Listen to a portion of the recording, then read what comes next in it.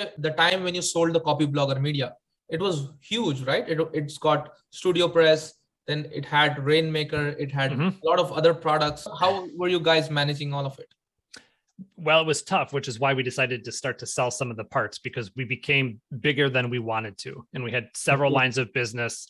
And and I told Brian Clark in Nashville at a steakhouse at WordCamp US, I'm like, look, it's time to sell StudioPress because Gutenberg was coming, whatever that meant at the time. I had no idea. And I said, unless we're willing to like double down and, and commit to it using a lot of people to build this out and to follow along, we're just it's just going to wither up and that mm-hmm. other people will pass us by. So let's see if we can find, you know, somebody we obviously have several friends in the industry. Hosting companies made the most sense. So we reached out to them.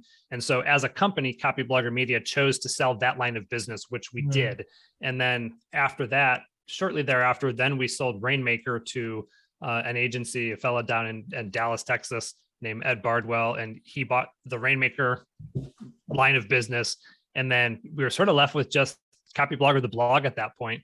Uh, and then I, at that point, I, I had real no real interest in being a part of that anymore, just because I just wanted to do other things. And so I sold my ownership in Copyblogger, which was mm-hmm. basically mm-hmm. the blog at the time, which then freed me up to just go do whatever I wanted. So Right, right. Interesting. So you came the whole it completed the whole circle, right?